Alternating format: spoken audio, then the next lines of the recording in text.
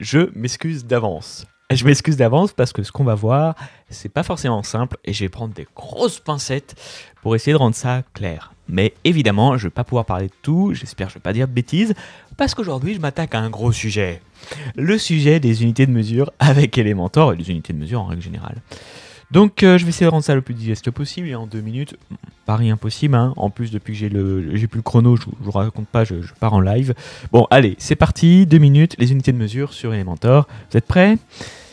Le défi est accepté. Alors, première chose, j'ai ici, pour mon besoin de mon expérience, défini euh, dans la typographie différentes unités de mesure. Donc aujourd'hui, on parle bien de ça, on parle du fait que je peux mettre euh, un texte en pixels, euh, en EM, en REM ou en VH. Alors, première chose à comprendre. Le pixel, déjà, c'est quoi? C'est l'unité de mesure la plus petite. C'est un carré. C'est ce qu'on va appeler une unité de mesure fixe, absolue. D'accord? C'est absolu. Euh, les autres sont des unités de mesure relatives. Et c'est là où je ne vais pas commencer à rentrer dans les détails parce que ça va vous embrouiller pour rien et c'est plutôt complexe, mais c'est relatif à quelque chose. Par exemple, ça peut être relatif, on va faire l'expérience, à la taille par défaut de votre navigateur, qui par défaut est 16 pixels. Alors, comme c'est 16 pixels d'ailleurs, et qu'ici j'ai mis comme unité de mesure 1. Vous voyez, ici c'est 1 pour tout EM. Ici j'ai mis EM. Après, pour le REM, j'ai mis également 1, bien sûr. Alors, je vais le faire d'ailleurs, parce que c'est pas mis, voilà.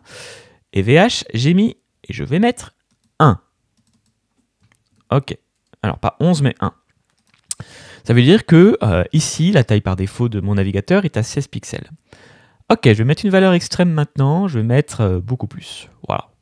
Assez grand quand même. Hein donc ça, c'est notamment pour les personnes qui pourraient mal lire sur l'écran, c'est intéressant pour eux de voir comment vont être les répercussions de ce choix si quelqu'un euh, veut mettre plus grand les polices par défaut de son navigateur.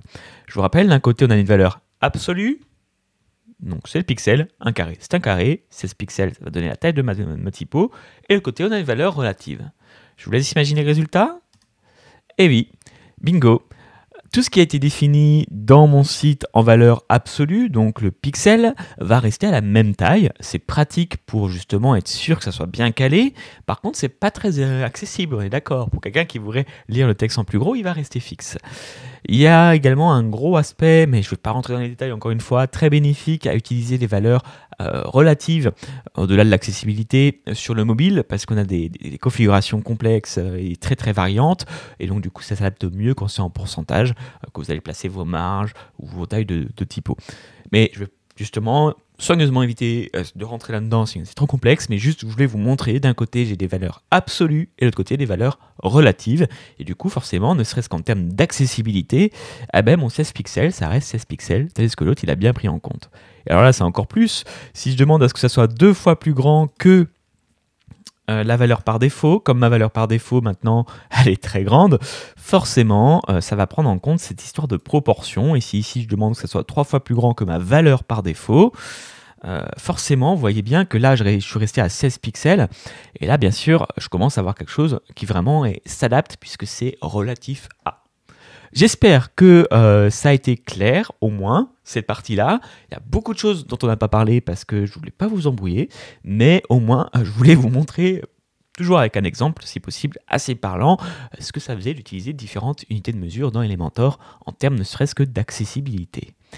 Euh, ben, c'est tout ce que j'avais à dire. Je pense que j'ai déjà bien débordé sur les deux minutes, mais je pense que c'est assez clair. En tout cas, je l'espère. Et si vous avez d'autres questions, n'hésitez pas. Vous pouvez utiliser wpmarket.fr slash 120 pour me les poser. À très bientôt.